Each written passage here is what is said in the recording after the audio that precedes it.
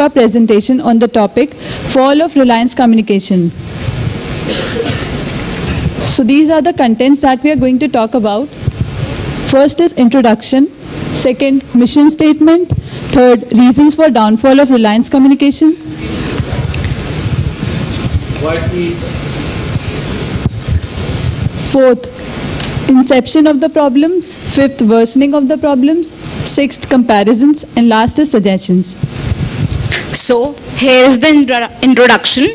Reliance Communication Limited, founded by late Sri Dhirubhai H. Ambani in 1932-2002, is the flagship company of Reliance Anil Dhirubhai Ambani Group. Sri Anil Dhirubhai Ambani is the chairman of the company and the headquarters of the company are situated at Mumbai.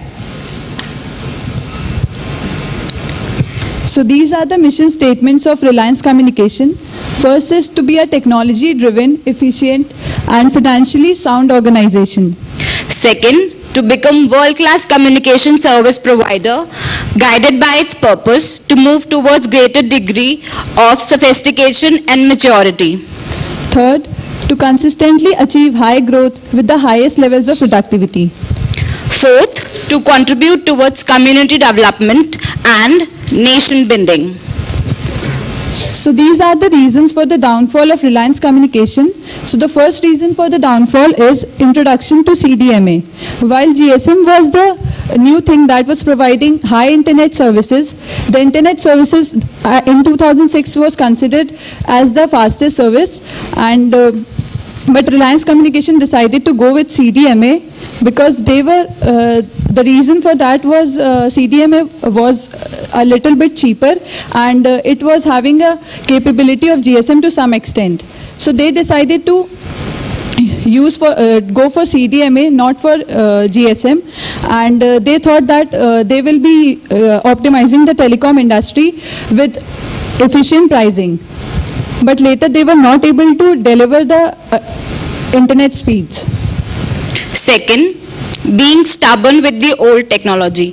GSM technology became the foundation of the new advances in telecommunication, where RCom was stubborn enough not to leave CDMA at any costs, as this result in the improvement of the new technologies in telecom, yet RCom technologies stop progressing.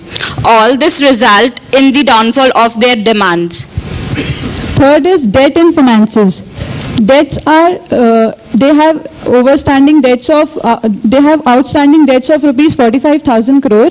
And uh, current, uh, in 2017 they were having 35,000 of debt with uh, debt for erection uh, was uh, 1150 crore.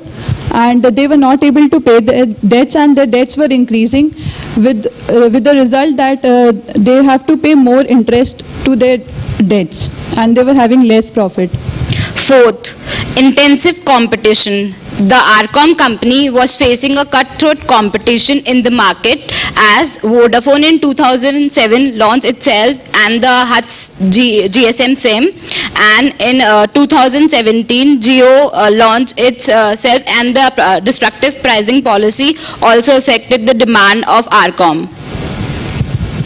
So now we are going to talk about starting of the problem.